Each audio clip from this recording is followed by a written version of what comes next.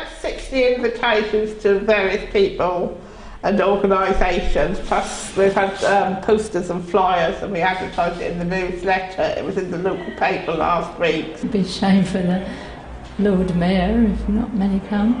Disappointment if no one comes We hope in. people will come in to find out what it's all about and what, What's what's, going going to be available here in the future. You have to keep your fingers crossed.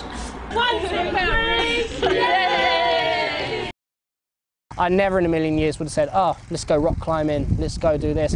In fact, uh, Change the Scene helped me find out hobbies that I really enjoyed that I never even knew I enjoyed. a few years ago what they the young people were doing and who they were hanging around with. Growing up, you know, I was a bit difficult, I can understand. I can understand that all the kids nowadays, some of them will be really difficult coming through, but I would, you know, I'd definitely recommend anybody volunteering, it is worth it.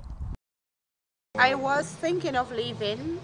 I didn't like the area very much because I found it to be very lonely and I, I have been making plans. I have thought about um, moving away from here eventually but I'm finally feeling a sense of belonging and um, if it continues then I'm hoping to change my mind um, it was mainly because I feel like I want to be involved in my community. I want to be able to contribute, and I think it's it's quite a wonderful place to live. And I feel, yeah, I would love to stay